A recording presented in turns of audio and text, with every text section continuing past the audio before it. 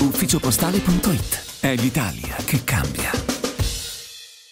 Ricordo che è una persona straordinaria, una persona buona, schiva, una persona che credo che abbia aiutato tutti, insomma, i grandi campioni, da Baggio, Guardiola, eh, eh, tutti noi, da, Minichi, da Nicolini, Minichini, io, quando siamo stati qui ad Ascoli, persona che brava, brava anche tatticamente a preparare, si parla tanto di Bielsa, no? Eh, lui il lavoro che, face, che fa Bielsa adesso lo faceva nell'82 con noi.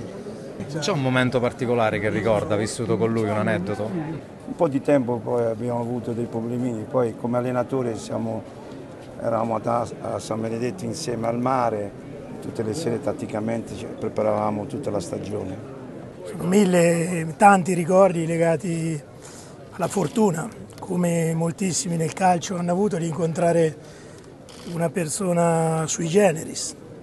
Mi viene da dire troppo diversa rispetto agli altri perché, perché aveva dei valori che in quel momento magari non erano esclusivi, oggi sarebbero impossibili da, da, da vedere.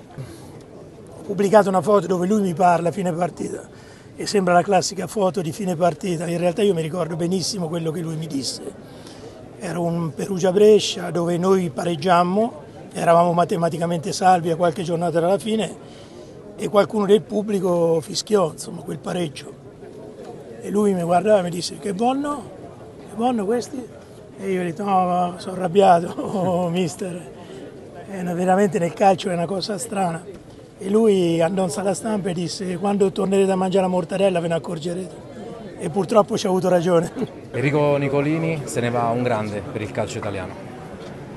Ah, grandissimo personaggio, ha fatto la storia del calcio in Italia. E io posso dirlo a, piena voce che sono stato un suo fedelissimo scudiero, sono stato nove anni con lui, quattro squadre diverse. Sono il giocatore con più presenze in panchina con Mazzone, quindi la dice lunga su quel legame che, c'era tra me e il mister.